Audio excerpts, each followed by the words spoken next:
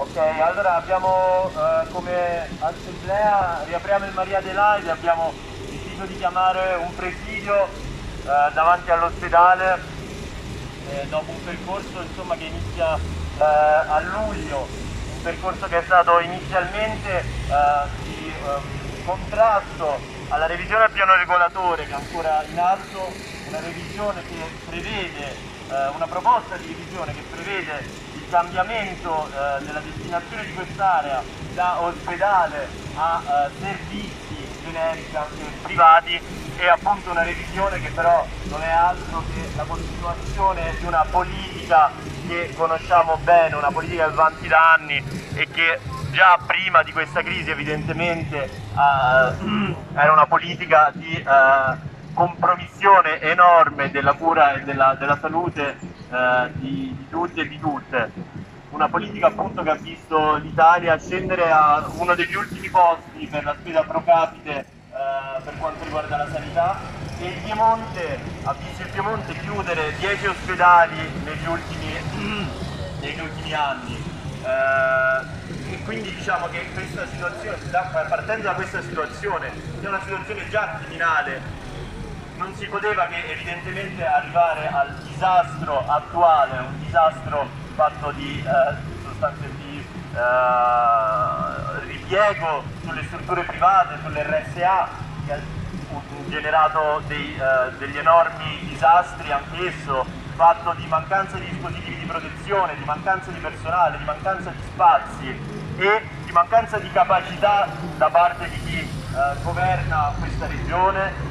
chi amministra la sanità piemontese, una mancanza di capacità che ha fatto sì che in questa seconda ondata non si fosse preparato niente, non fosse cambiato assolutamente niente. Ed è quello che dicono anche i sindacati e, e i lavoratori e le lavoratrici che stanno nel, nel settore sanitario e che, con, i quali, con le quali ci siamo confrontati eh, domenica. Abbiamo fatto un'assemblea online e anche in questa situazione eh, assolutamente eh, non, non, abbandonata a se stessa ma governata in un modo criminale. E allora di fronte a Cirio che eh, con, facendo delle proposte per la spesa dei miliardi che arriveranno alla regione Piemonte eh, tra, le prime, eh, tra le sue prime decisioni eh, propone una, parcheggi milionari nelle stazioni sciistiche eh, e nelle, nei paesi turistici delle Langhe, di fronte a questo e a nessuna presa di posizione sulla ristrutturazione della sanità privata e della sanità pubblica, scusate, noi non possiamo che eh, incazzarci, non possiamo che incazzarci, il quartiere non può che essere assolutamente stufo e avere la misura colma di questa gestione, per questo siamo qua davanti siamo qua davanti perché è un ospedale questo che è stato chiuso definitivamente nel 2016 e che ha un'ala eh, nuova, nuova, che non costerebbe quasi niente rimetterla in funzione. Siamo qua davanti perché è un ospedale che già per la chiusura aveva mobilitato eh, moltissime persone del quartiere, moltissime lavoratrici e lavoratori che erano qua, che si sono battute per anni e sono state eh,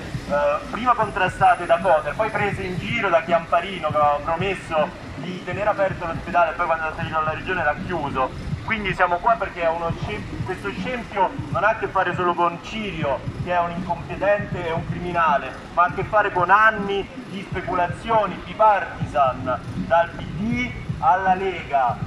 nello stesso modo, anzi, forse anche in un modo più infido da parte della sinistra.